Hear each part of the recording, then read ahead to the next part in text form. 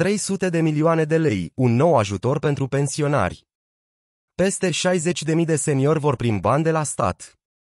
Statul român vine în ajutorul seniorilor cu venituri mici. De această dată se dă startul unui proiect ce oferă bilete gratuite pentru un număr de 60.420 pensionari care se vor putea bucura de un tratament balnear pe banii statului anul acesta.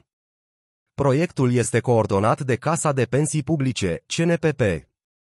Acest proiect anunțat recent nu este la prima ediție, căci acesta continuă de ani buni deja. Astfel și în anul 2023, seniorii cu venituri mici vor putea beneficia de un tratament balnear gratuit. Totuși, aceste bilete se acordă în conformitate cu prestațiile privind tratamentul balnear, iar apoi se va realiza o listă bazată pe atribuirea de bilete de tratament persoanelor ce sunt îndreptățite.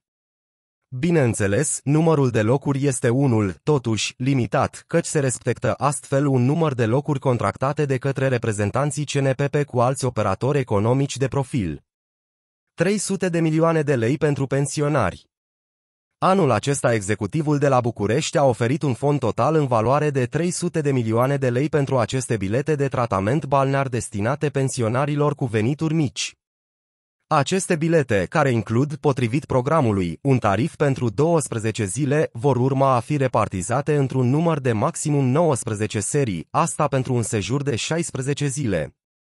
Odată cu începerea programului, aceste bilete gratuite de tratament balnear vor putea fi solicitate de către pensionari, dar și de asigurații sistemului public de pensii. După aceea, un procent de maximum 15% din numărul total al biletelor va urma a fi acordat, în mod gratuit, beneficiarilor, dar și celor care au suferit în ultimul timp accidente în timpul muncii sau au fost diagnosticați cu boli profesionale. Gratis la balneare aceste 60.420 de locuri prevăzute în proiect ar urma să fie suplimentate până la atingerea sumei finale acordate. Pentru primirea acestui ajutor, totuși, seniorii în cauză vor trebui să depună anumite acte, potrivit celor de la Casa Națională de Pensii Publice. Astfel, acestea ar fi următoarele. Document de plată după caz, talonul privind drepturile de pensie din alte sisteme neintegrate sistemului public de pensii, în original sau copie, care se va prezenta la momentul eliberării biletului. Declarație pe propria răspundere că nu realizează alte venituri din pensie din alte sisteme neintegrate sistemului public de pensii, cu excepția persoanei care depune talonul privind plata acestor drepturi, care se va prezenta la momentul eliberării biletului.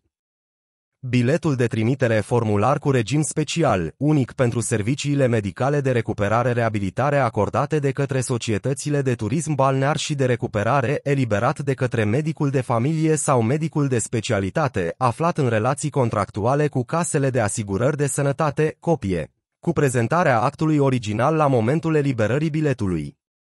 După primirea solicitărilor, analizarea acestora și în funcție de locurile disponibile, se va anunța și acordarea biletelor balneare gratuite, către cine mai exact vor ajunge acestea, informează cei de la Romania TVNet.